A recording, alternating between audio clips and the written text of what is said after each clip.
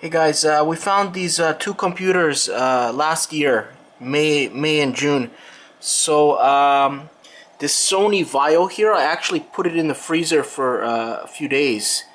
Uh, it does work, but it's kind of limited. It has um, Pentium 4, uh, 2.8 gigahertz, and it's running updated Service Pack 3 X, Windows XP. So that that's good, but I noticed the, the DVD uh, thing is not working, uh, it's not reading or something. Uh, but it is working kind of, like uh, everything else works on this computer. Uh, so that's good for games or something. Um, the battery seems to kind of work. but this one here, this is is one is pretty good. It's um, it's an i3. It says Core i3. If you can see that so, um, says Sentey or something like that. Never heard of that.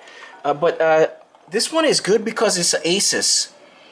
Uh, so um, you can see on the on the screen here, this is quite advanced uh, compared to uh, most of the computers I have. They don't have a BIOS like this. Uh, it's telling you right away your RPM, all kinds of stuff right here. So this thing came with no hard drive. So I just put the one from the Dell and it boots into Windows right away. But uh, I was troubleshooting here for about 10-15 minutes. I couldn't get this thing to work. So what the issue was, first of all, I had no memory. So uh, I was trying different sticks. I'm not sure if this is DDR2 or 3 or whatever. It doesn't actually say. It just says kit 1 of 3 for 6 gigabytes. So I, am not sure. It's from the the gateway computer. So uh, I put it in this slot, then I put in that. Nothing was working. Uh, but I noticed, just like my other Asus, the, the older one, is that you really got to stick these uh, memory sticks properly in there. It, it kind of like feels like it's in there. The, the, the white things clip on, everything is in, but it, it wasn't in far enough, I think, because uh, I pushed it, I took it out, stuck it in even harder um, and and all of a sudden everything's working now. So it's just the memory.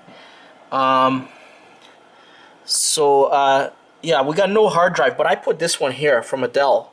Everything's working. It just says it's not um, uh, activated or that you need to reactivate Windows 7. But uh, everything seems to be working. That that fan on this power supply is blowing hard. So that's even better than my gateway over here. Um, got all kinds of. Uh, I don't like how they keep uh, getting rid of the mouse. Like I had to put a USB mouse. So, uh, other than that, this computer, I took out the battery uh, while I was troubleshooting. Um, it only has two slots for memory. Um, I could put maybe a, a graphics card from the other Asus in here and see uh, how good this computer is because this is an i3 so that's pretty good. Not those dual core like those uh, most of those other computers I have.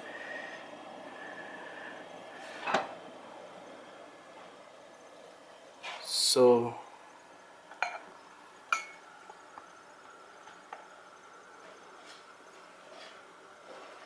we got right here. It says uh, i3 3220 and oh so this is a DDR3 two, uh, 2000 so that's like 2 gigabyte stick at uh, 1333 megahertz. So th this uh, this uh, this software is really good on here. Okay guys uh, thanks for watching. Have a nice day